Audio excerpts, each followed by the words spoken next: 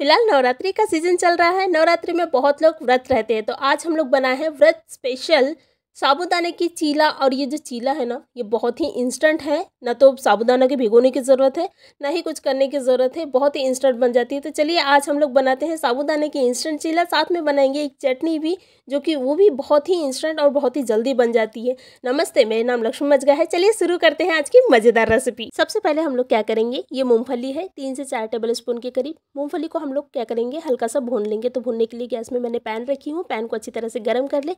गर्म पैन में ये मूँगफली को डालें और इन्हें अच्छी तरह से भून ले। तो हमारे मूँगफली जो है वो भून कर हो गया है, गैस को बंद कर दे और इन्हें इसी पैन में रहने दे ताकि थोड़ा ठंडा हो जाए।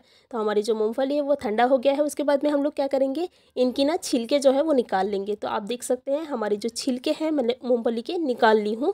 इस तरह से मूँगफली के जो छिलके हैं वो निकाल लें। उसके बाद में क्या करेंगे, एक मिक्सी का बर्तन लेंगे। मिक्सी के बर्तन में ये मूँगफली को डालेंगे, भुनी हुई मूँगफली को और इसकी ना दरदरा पेस्ट तैयार करेंगे। सॉरी, पाउडर तैयार करेंगे। तो ये हमारी जो पाउडर है, वो बन गई है। देखिए, आप देख सकते हैं। उसके बाद में ये जो पाउडर है ना, इसको हम लोग एक प्लेट में डालेंगे। ये देखिए, इस तरह से। उसके बाद में इसमें ही हाफ़ ग्लास के करीब पानी डालें और इन्हें अच्छी तरह से भीगने दें। दूसरी तरफ़ हम लोग आलू बॉईल किए हैं चीला के लिए। तो ये आलू को क्या करें? अच्छी तरह से कद्दूकस कर ले। देखिए, इस तरह से कद्दूकस करना है। तो इसके बाद में हम लोग लिए हैं ये साबूदाना तो ये मैंने बहुत ज़्यादा ले ली थी। कम से कम मुझे तीन से चार लोगों के लिए बनाना था। अगर आपको एक लोगों के लिए बनाना है तो आप थोड़ा सा लीजिए। कम से कम पाँच से छः टेबल स्पून के करीब मतलब हाफ़ प्लेट के करीब लीजिए। तो ये साबुदाना ले, इसको ही एक मिक्सी के बर्तन में डालना है और इनकी पाउडर तैयार करना है। देखिए, इस तरह से पाउडर बनाना है। अगर आप ऐसे नहीं करना चाहते तो आप क्या कर सकते हैं, इनको भिगो कर भी इसकी, ये इस तरह से पेस्ट तैयार कर सकते हैं। तो मैंने पाउडर तैयार की हूँ। पाउडर को एक प्लेट में डालें। इसी में आलू को डालना है, जो हम लोग कद्दूकस करके रखे थे, वो आलू को डालना है। उसमें ही दही डालें, हाफ़ प्लेट के करीब। इसमें ही हम लोग ये सेंधा गंदा नमक डाल रहे हैं। अगर आप नॉर्मली मतलब कि नॉर्मली खाने के लिए चीला बना रहे हैं तो आप सादा नमक भी डाल सकते हैं, लेकिन ये व्रत के लिए है, इसलिए हम लोग क्या किए हैं, इसमें सेंधा गेंधा नमक डाले हैं उसके बाद में इसमें ही हरी मिर्ची डालें आधा हरी मिर्ची बचा देंगे ताकि हम लोग चटनी बना सके। तो ये मैंने हरी मिर्ची डाली हूँ बारीक कट के और इसमें ही हरी धनिया डालें थोड़ा हरी धनिया बचा लें ताकि हम लोग चटनी में आ, मतलब यूज़ करेंगे।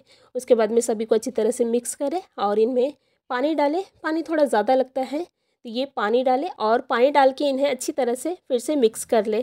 इनकी हमको पेस्ट की तरह बनाना है जैसे नॉर्मली चीला की जो पेस्ट रहती है वो इस तरह से बनाना है। तो आप देख सकते हैं हमारी जो पेस्ट है वो तैयार हो गई। ये जो पेस्ट है ना ये बहुत ज़्यादा ठीक नहीं होना चाहिए, बहुत ज़्यादा पतला नहीं होना चाहिए। नॉर्मली जैसे हम लोग डोसा बनाने के लिए पेस्ट तैयार करते हैं, बिल्कुल उसी तरह से होना चाहिए।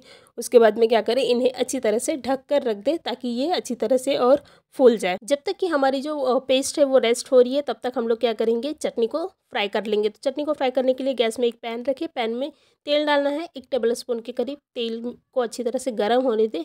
उसके बाद में इसमें ही हाफ़ टेबल स्पून के करीब जीरा डालें इसमें ही हम लोग डालेंगे हरी मिर्ची, जो हम लोग आधा बचा के रखे थे तो वो डालें। इसमें ही हम लोग डालेंगे हरी धनिया। ये देखिए इस तरह से, और हरी धनिया हरी मिर्ची को अच्छी तरह से भून लेना है। ये देखिए इस तरह से भुनना है। उसके बाद में हम लोग जो मूंगफली की पेस्ट पाउडर तैयार करके भिगो कर रखे थे ना, पानी डाल के तो वो पानी वाली मूंगफली को डालें और इन्हें अच्छी तरह से पका लेना है। बहुत ज़्यादा पकाने की ज़रूरत नहीं है। कम से कम एक मिनट पकाना है। उसके बाद में इसमें ही सेंधा गेंदा नमक डालना है। अगर आप नॉर्मली चटनी बना रहे हैं तो नॉर्मल नमक डाल सकते हैं, जो हम लोग खाते हैं। लेकिन हम लोग व्रत के लिए बना रहे हैं, इसलिए सेंधा गंदा नमक डालें और इन्हें फिर से एक मिनट पका लें। तो एक मिनट हो गया है। गैस को बंद कर दें और ये चटनी को निकाल लें। तो आप देख सकते हैं हमारी जो चटनी है, कितनी अच्छी तरह से बन गई है।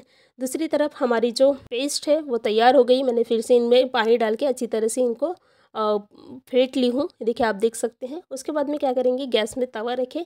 तवा को अच्छी तरह से गर्म कर ले। गर्म तवा में तेल डालना है और तेल को भी ना अच्छी तरह से फैला लेना है तवा भर देखिए इस तरह से। उसके बाद में क्या करना है, हमारी जो पेस्ट है तो पेस्ट को डालें चम्मच की सहायता से देखिए इस तरह से।